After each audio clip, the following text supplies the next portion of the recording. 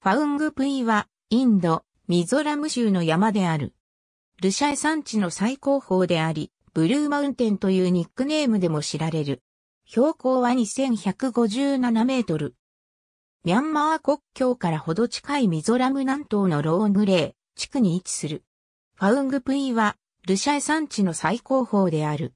西側は半円形に切り立った崖になっていて、スラズアングカムと呼ばれており、白岩ヤギの生息地になっている。また、この崖には神々が宿っていると信じられている。山頂にはおよそ 2km 四方にわたって開けた場所が存在する。ファウングプイにはこの地域の独自の神々が宿っていると考えられており、民間信仰の中心地、民話の舞台としてこの山は厚く信仰されている。来語では、本は草原、草地を表す。設備時のプイは偉大なという意味を持つ。その名の通りこの山は大部分が様々な植物からなる草地に覆われている。地元の信仰ではこの山は神々の住処となっている。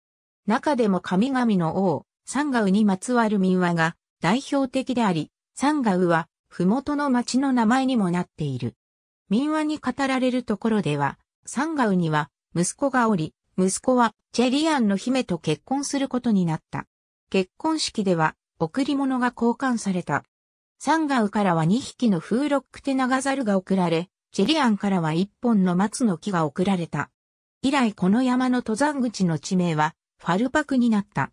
1992年にはファウングプイはファウングプイ国立公園として自然保護地域に指定されている。ミゾラム州の国立公園はファウングプイ国立公園を含めて2つしかない。ミゾラム州政府は自然保護の観点からこの山への訪問を11月から4月までに限っている。この地域は生い茂る竹林とその他魅力的な植物群に囲まれている。蝶の仲間も多く見られ、いくつかの希少な種がこの地域から発見されている。